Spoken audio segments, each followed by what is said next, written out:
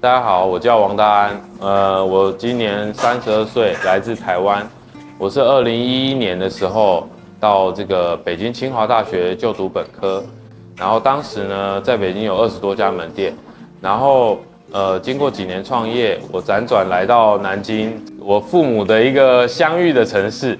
然后我在这边呃开这个葡萄酒的连锁品牌，还有这个祥师傅在二零二二年的时候应运而生。那时候就是你要去清华大学的呃的那个网页，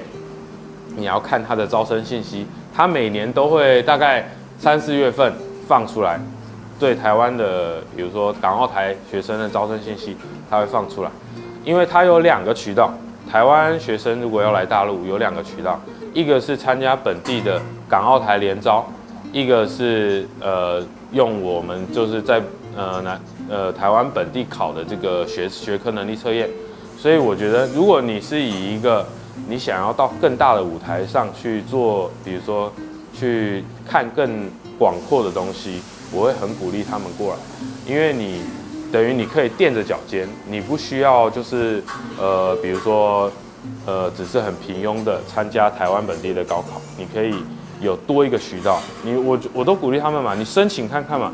你申请看看，没准你录取了，然后你录取了之后，你再来选择也不迟。比如说台湾同胞来内地，第一个遇到问题，他要先解决支付宝跟微信的问题。其他都是小事，他可以慢慢学。这两个是有迫切性的。他们比如说刚来大陆，他可能还没开始创业，或者是还没开始就业，他没有就业的证证明，也没有那个呃，比如说创业的营业执照啊，或者这种也没有资产，他没有办法去申请银行卡。所以很多比如说厦门那边台商特别多，他们会跟特定银行合作。前年吧，就是台湾同胞都是可以上医保的，然后只要你在每年的年底之前申报，然后你隔年都是可以享受这个医保，就是帮这个台湾同胞解决一些在地的一些生活问题，我觉得是有很大改善。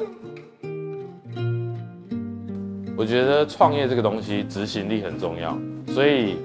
先不要问太多建议，我会给他的唯一建议就是你先来看看，我先跟你吃几顿饭，我带你走走。创业就是顺应市场嘛，所以你连市场都不了解，你就先不要